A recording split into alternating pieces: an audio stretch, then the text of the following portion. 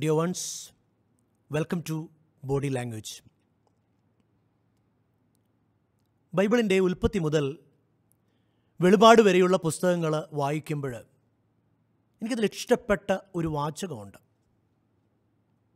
ഒരു പക്ഷേ ഈ ആധുനിക കാലഘട്ടത്തിലെ എല്ലാ എഴുത്തുകാരും ഏറ്റവും കൂടുതൽ സംസാരിച്ചിട്ടുള്ള ഒരു വാചകമാണത്.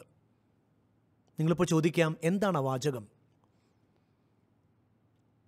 ജാഗരൂകരായിരിക്കുക. ജാഗരൂകരായിരിക്കുക എന്ന ഒരു പദം നമുക്കറിയാം എന്തുകൊണ്ടും ഏറെ കാലിക പ്രസക്തിയുള്ള ഒരു പദമാണ്.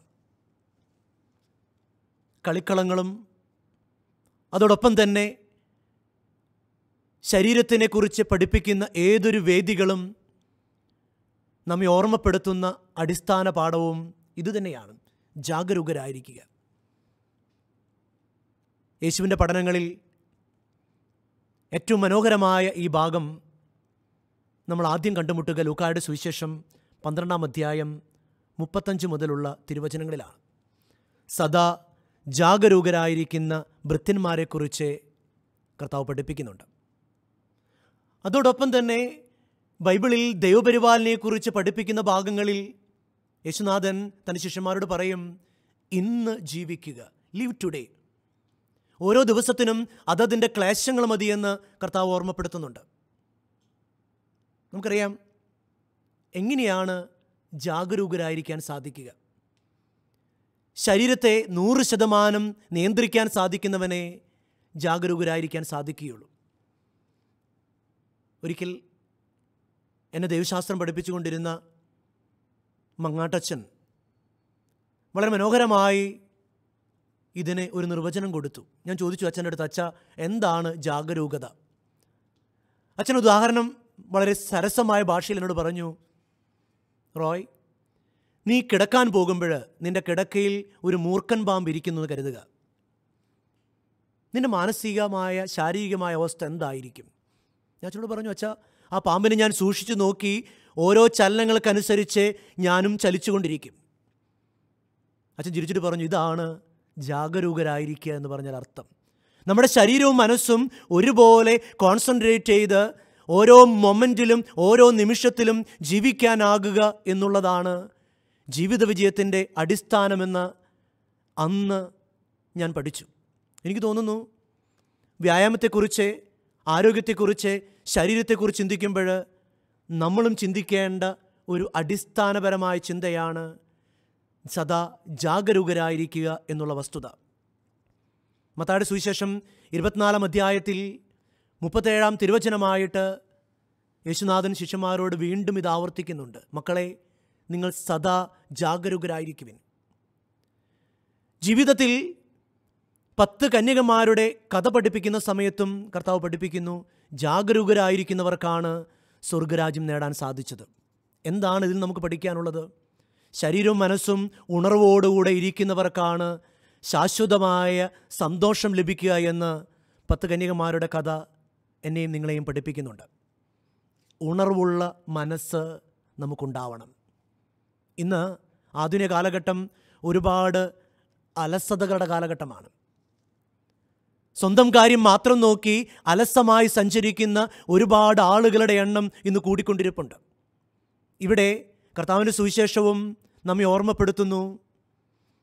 സദാ ജാഗരൂകരായി ഉണർവോടുകൂടെ ജീവിക്കാൻ പഠിക്കുക. ഹെബ്രാരിക്കത്തെ ലേഖനത്തിൽ പൗലോസ്ലീഹ ഒന്നുകൂടെ നമ്മെ ഓർമ്മപ്പെടുത്തുന്നുണ്ട്. അവസാനം വരെ ഉത്സാഹം കാണിക്കണം. ജീവിതമാകുന്ന ഓട്ടത്തിൽ ഒരു സമയത്തെ ഒരു മിനിറ്റിന്റെ ഒരു സെക്കൻഡിന്റെ അലസത മതി ജീവിതം നശിക്കാൻ. നമുക്കറിയാം നമ്മളൊക്കെ ഒളിമ്പിക്സിൽ നൂറ് മീറ്റർ ഓടം കാണുന്നുണ്ട്. ചിലപ്പോൾ വലിയ വലിയ അത്ലറ്റിക്സ് മീറ്റുകൾ കാണുന്നുണ്ട്. അല്ലെങ്കിൽ ഫുട്ബോൾ കളിയാണെങ്കിലും നമ്മൾ കാണുന്നുണ്ട്. ഒരു നിമിഷത്തെ ഒരു സെക്കൻഡിന്റെ അലസത ഒരു ഗോൾഡ് മെഡലെ നഷ്ടപ്പെടുത്തി കളയുന്നു. പലരും പരാജയപ്പെട്ടത് മനസ്സിന്റെയും ശരീരത്തിന്റെയും ഈ അലസത കൊണ്ടാണ്. ബൈബിളിൽ മത്തായുടെ സുവിശേഷം ഇരുപത്തഞ്ചാം അധ്യായത്തിൽ താലന്തുകളുടെ ഉപമ കർത്താവ് നമ്മെ ഓർമ്മപ്പെടുത്തുന്നു. പത്ത് കിട്ടിയവൻ പത്ത് കൂടെ വർദ്ധിപ്പിച്ചു. അഞ്ച് കിട്ടിയവൻ അഞ്ച് കൂടെ വർദ്ധിപ്പിച്ചു. പക്ഷേ ഒരു താലന്ത് കിട്ടിയവനോ അത് കുഴിച്ചു മൂടി. തനിക്കുള്ള അവസരങ്ങൾ കണ്ടെത്താതെ ഉണർവോടുകൂടെ ശരീരവും മനസ്സും ഉണർവോടുകൂടെ ഇരുന്ന് തനിക്ക് കിട്ടിയിരിക്കുന്ന താലന്ത് എങ്ങനെ വിനിയോഗിക്കണമെന്ന് മനസ്സിലാക്കാതെ വന്നപ്പോൾ ബൈബിൾ പറയും അവനെ സ്വർഗരാജ്യത്തിൽ നിന്ന് പുറംതള്ളി അവൻ ഈ ലോകത്തിൽ നിന്ന് തന്നെ പുറന്തള്ളപ്പെടുന്നു. നമുക്കറിയാം ആധുനിക കാലഘട്ടം വിജയിക്കുന്ന ഏത് വ്യക്തിത്വങ്ങളെ എടുത്ത് പഠിച്ചാൽ അവരുടെ ശരീരവും മനസ്സും ജാഗരൂകതയോടുകൂടെ അവർ കൊണ്ടു നടന്നു എന്നുള്ളതിന് ഉദാഹരണമാണ്. ബൈബിളിലൊരു കഥാപാത്രമുണ്ട് ദാവീദ്. ഒരു പക്ഷേ എനിക്ക് നിങ്ങൾക്കുമൊക്കെ സുപരിചിതമായ ഒരു രാജാവാണ് ദാവീദ്. തികഞ്ഞ കായികാഭ്യാസിയായ വ്യായാമത്തിനും അതുപോലെ തന്നെ കായിക അഭ്യാസങ്ങൾക്കും പ്രാധാന്യം കൊടുത്തിരുന്ന ഒരു രാജാവ്.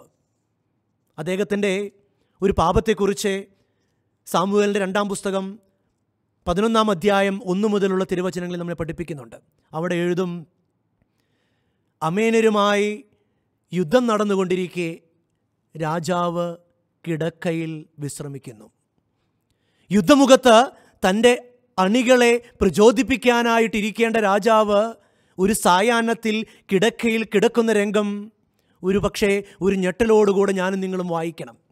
അവിടെ എഴുതും കിടക്കയിൽ സായാഹ്നത്തിൽ രാജാവ് കിടക്കുന്നു. തുടർന്ന് അല്പം കഴിയുമ്പോൾ അവൻ എഴുന്നേറ്റ് ഉലാത്താൻ തുടങ്ങുന്നു.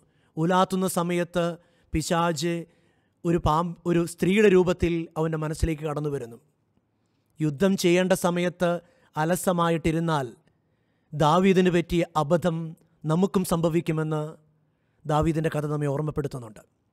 ഒരുപക്ഷേ ഞാനും നിങ്ങളുമൊക്കെ ഉണർന്നിരിക്കേണ്ട സമയത്ത് ശരീരം അലസമായിട്ട് കൊണ്ടു നടന്നാൽ ശരീരത്തിന്റെ ദ്രവ്യാഗ്രഹങ്ങളായി ബൈബിൾ അവതരിപ്പിക്കുന്ന മദ്യാസക്തി സുഖലോലുപത വ്യഭിചാരം അങ്ങനെയുള്ള തിന്മകളൊക്കെ ശരീരത്തിലേക്ക് കടന്നു വരികയും അങ്ങനെ ശരീരം മനസ്സിനെ കീഴ്പ്പെടുത്തുകയും തുടർന്ന് ജീവിതം അധോഗതികളിലേക്ക് താഴുകയും ചെയ്യും.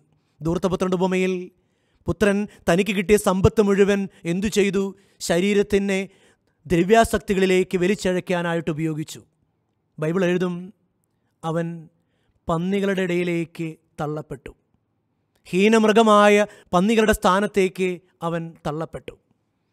ശരീരം അലസമായിട്ടിരിക്കാൻ തുടങ്ങിയാൽ അലസത പിശാജിന്റെ പണിപ്പുരയാണെന്നുള്ള മഹത്തായ പഴഞ്ചൊല്ല് വീണ്ടും ആവർത്തിക്കാൻ തുടങ്ങും. സഭാപ്രസംഗം പറയും പത്താം അധ്യായം ഉടമസ്ഥൻ അലസനായാൽ മേൽക്കൂര ഇടിഞ്ഞു വീഴും. വളരെ മനോഹരമായിട്ടാണ് സഭാപ്രസംഗം അവതരിപ്പിക്കുന്നത്. പത്താം അധ്യായം പതിനെട്ടാം തിരുവചനം ഒന്നുകൂടെ നമ്മൾ ഓർക്കണം. ഉടമസ്ഥൻ അലസനായാൽ മേൽക്കൂര തകർഞ്ഞടിഞ്ഞു വീഴും. വീണ്ടും സുഭാഷിതങ്ങളിലേക്ക് അടക്കുമ്പോൾ പത്താം അധ്യായത്തിൽ നാലാമത്തെ തിരുവചനം അലസമായ കരം ദാരിദ്ര്യം വരുത്തി വയ്ക്കുന്നു സ്ഥിരോത്സാഹിയുടെ കൈ സമ്പത്ത് തേടുന്നു. അലസത വരാതിരിക്കാൻ ശരീരത്തിന്റെ വ്യായാമം നിർബന്ധമാണ്. കാരണം ശരീരം അലസമായാൽ ശരീരത്തിന്റെ ദുഷ്പ്രേരണകൾ കടന്നു വരാൻ തുടങ്ങും.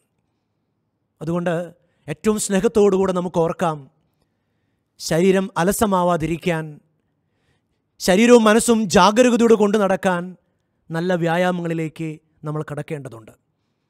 കുറേം കൂടെ ശരീരത്തെ കൃത്യതയുള്ളതാക്കി തീർത്ത് കുറേം കൂടെ ജാഗരൂകരായി ഓരോ നിമിഷത്തിലും ജീവിക്കാൻ നമുക്ക് സാധിച്ചാൽ ജീവിതം കുറേം കൂടെ അർത്ഥപൂർണമായി തീരുമെന്ന് ഈ നല്ല ദിവസം നമുക്ക് ഓർക്കാം. ദൈവം നമ്മെ അനുഗ്രഹിക്കട്ടെ.